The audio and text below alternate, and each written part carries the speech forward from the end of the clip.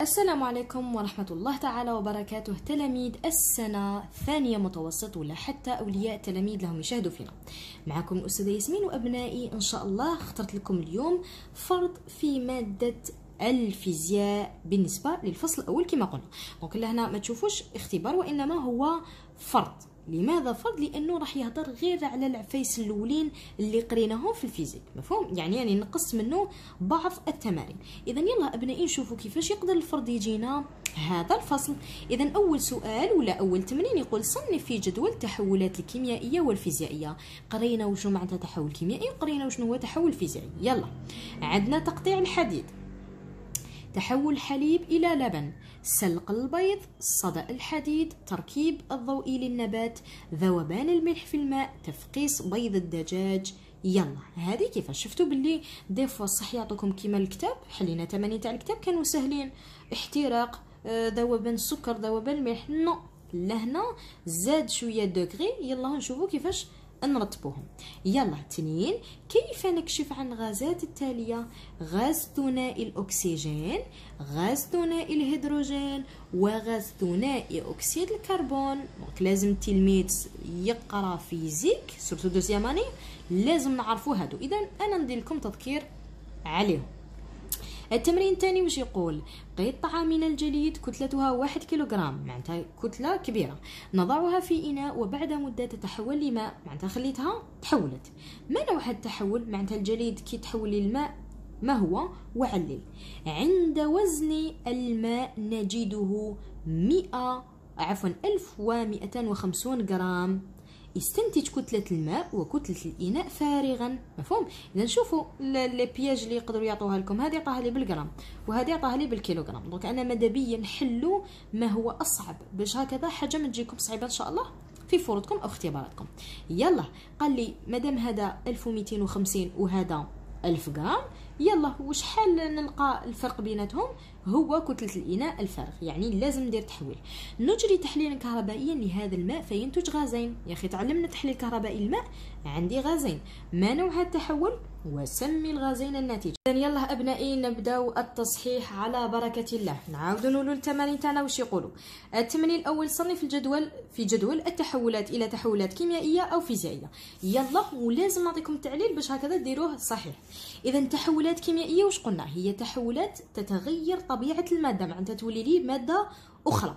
ولا يمكن بواسطة هذيك المادة الرجوع إلى الحالة الأصلية. مفهوم؟ معناتها ما نقدرش نعاود نولي بها إلى النواه المتفاعلات تاعي معناتها. العفسة اللي كانت عندي في الأول.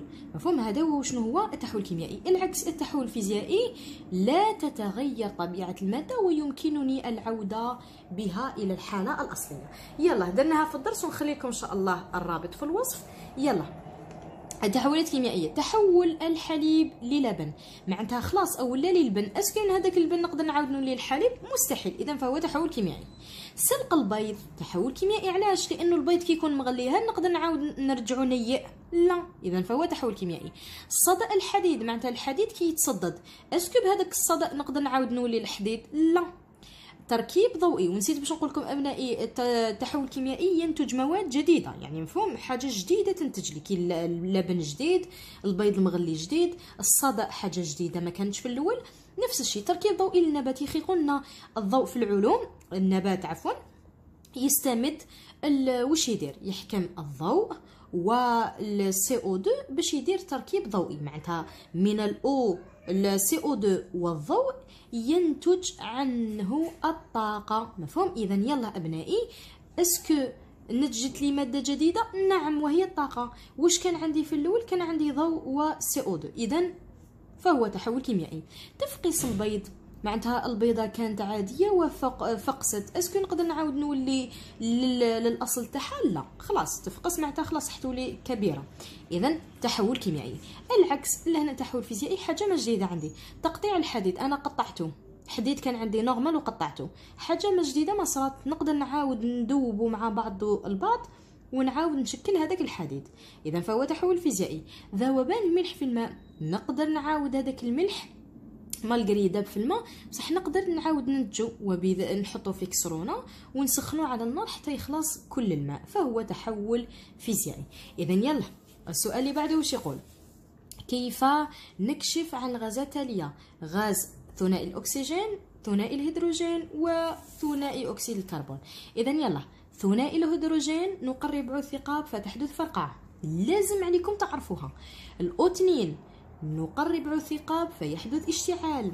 أما ال CO 2 فنكشف عنه بواسطة رائق الكلس فيتعكر. مفهوم؟ هادو دزياماني لازم يتحفظوا. يلا نروحوا لموراها. اللي قاتلنا قطعة من الجليد كتلتها واحد كيلوغرام. نضعها في إناء وبعد مدة تتحول لماء. ما نوع التحول؟ وعلي. إذا شوفوا لهنا. نوع التحول هو تحول فيزيائي. علاش فيزيائي؟ التعليل. طبيعة الجليد والماء واحدة أي أن الطبيعة لم تتغير مفهوم؟ إذا فهو في فيزيائي. كما أنه لم تتج لنا مواد جديدة كان عندي ما ولا ما. إذا ما كان حتى مادة جديدة برك ولا جليد. ويمكننا العودة بالماء إلى الجليد أي إلى الحالة الأولى.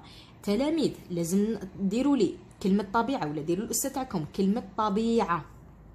كلمة تشكلت ولا لم تتشكل لنا مادة جديدة؟ وأسكو يمكننا العودة إلى الحالة الأصلية أم لا؟ مفهوم؟ الأستاذ المصحح لازم يلقى هذه الأشياء.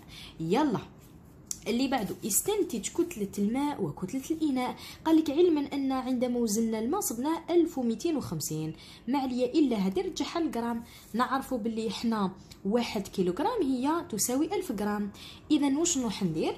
الكبير ناقص صغير باش نعرف كتلة الماء. مفهوم. يلا وكتلة كذلك الإناء إذا عندي 1250 ناقص 1000 تعطيني 250 إذا 1000 هي كتلة الماء. علاش أبنائي كتلة الماء؟ لأنه قلنا الكتلة في التحول الفيزيائي أو الكيميائي لا تتغير. إذا كتلة الجليد كانت عندي واحد كيلوغرام اللي هي ألف عفوا. نعم كانت عندي واحد كيلوغرام هي ألف غرام. نفس الشيء الماء لازم نلقى ألف غرام. أي واحد كيلوغرام. أما كتلة الإناء فارغ شحال لقيناها؟ 250 مفهوم؟ سهلة جدا. يلا شوفوا لهنا واش قالنا. نجري تحليل كهربائي لهذا الماء. واش قلنا تحليل كهربائي؟ قريناه ونحطه لكم إن شاء الله في رابط الوصف. ينتج عنه غازين. ما نوع التحول؟ وسمي الغازين الناتجين. اذا التحول هو تحول كيميائي. أنا فقط نسيت باش نديره لكم. التحول تاع التحليل الكهربائي للماء دوما كيميائي. التعليل لأنه بديت بالماء ونتجوا لي غازين. هاد الغازين ما كانوش في الماء مفهوم؟ بديت من الماء وتشكل لي غازين. مي عندها تشكلت لي حاجة جديدة فهو تحول كيميائي. ما هما هاد الغازين؟ H2 و O2 لازم تعرفوهم. ثنائي الهيدروجين وثنائي الأكسجين